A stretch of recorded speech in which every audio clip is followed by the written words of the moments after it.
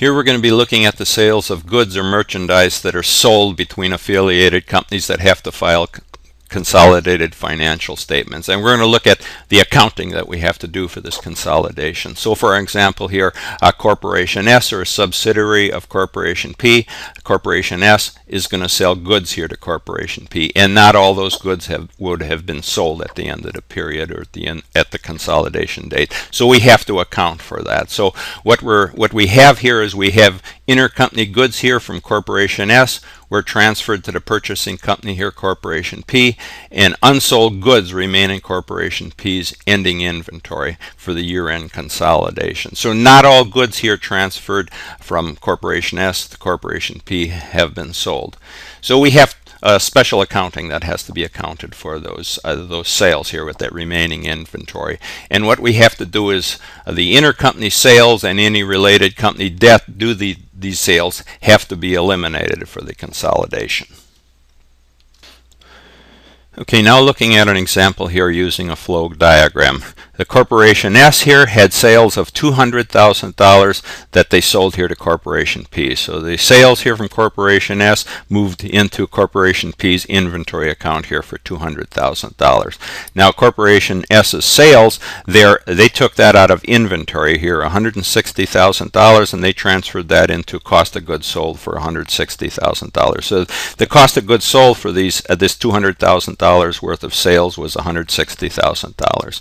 Now looking at this inventory account here for Corporation P, uh, they had sold $120,000 worth of the uh, sales or the purchases they made here from uh, the subcorporation. So the $120,000 here in inventory flows into the cost of goods, uh, goods sold for these outside sales. They sold that to an outside party for $120,000. And then the total sales here was for $180,000 for the sold to the outside parties. So going back to our inventory account here, only $120,000 worth of the $200,000 worth of goods purchased here from the subcorporation S uh, were sold. So we have a remaining inventory here of $80,000 and that is what we have to focus on to account for in this consolidation. We also have uh, the payment that was made for those sales here. So uh, we have an accounts payable here for the Corporation P for $200,000 worth of the sales or purchases they made from the subsidiary corporation and they only paid $150,000 on uh, on those uh, purchases they made from the subsidiary corporation. So $50,000 remains as in accounts payable here.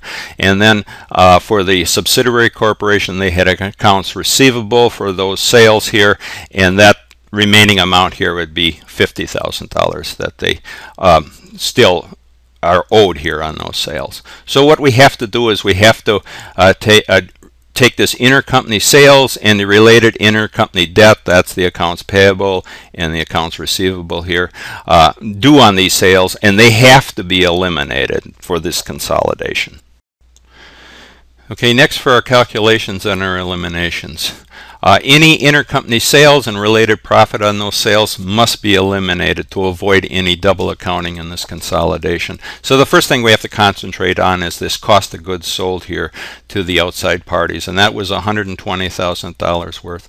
And that represents the portion of sales here that the subsidiary uh, sold to the parent company. They sold $200,000 worth, but only $120,000 was sold to the outside parties. So we have to determine what profit was included in this $120,000 to the outside parties, and that would be the sub sub S corporation or corporation S's profit. So first going down here and looking at our calculations. So corporations S or sub corporations profit on those sa sales to the corporation P or the parent corporation was the sales of $200,000 to the parent here less the cost of goods sold on those sales 160,000 profit of 40,000 on those sales. And then the gross profit here would be the $40,000 worth of profit divided by the $200,000 worth of sales, and that gives us a gross profit percent here of 20%. So going up here and looking at our calculation here. So Corporation P sold $180,000 here to the outside parties, and $24,000 of that of those sales here was included Corporation S's or the subcorporation's profit here, and that's calculated as follows here. So we had sales of $120,000 uh, of to the outside parties here. That would have been the corporation S's portion of those sales here. And the cost of goods sold on those sales we calculated here to be $96,000. And that was based on the fact here that our profit on those sales here of $120,000 using our uh, profit ratio here of 20% gave us a $24,000 worth of profit here. So just backing this out here to $24,000 worth of profit uh, less the sales here of 120,000 gives us a cost of goods sold here of $96,000.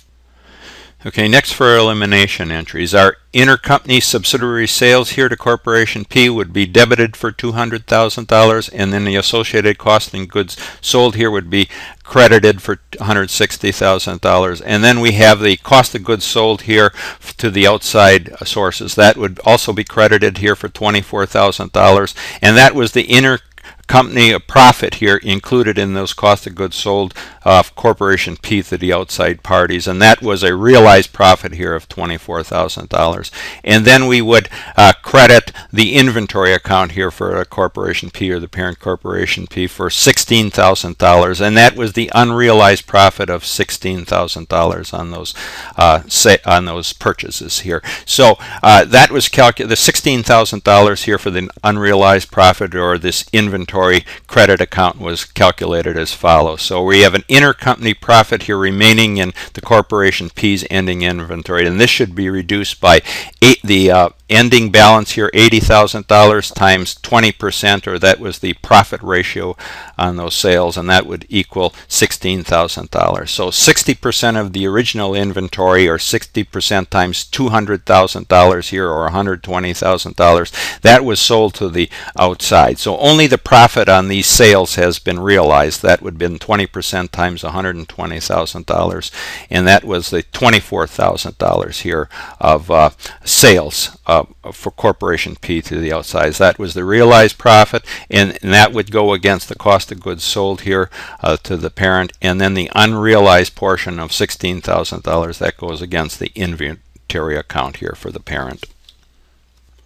Okay, in summary, we removed any of the intercompany sales and the associated cost of goods sold on those sales, and also the uh, inter company profit on those sales of $24,000. But what remained here is a $16,000 worth of unrealized profit, and that was uh, credited to the inventory account because no profit can be recognized until the profit is realized to a sale by the outside party. Since uh, there was uh, not all the uh, inventory was sold, or there was $80,000 remaining, it included here an unrealized profit of $16,000.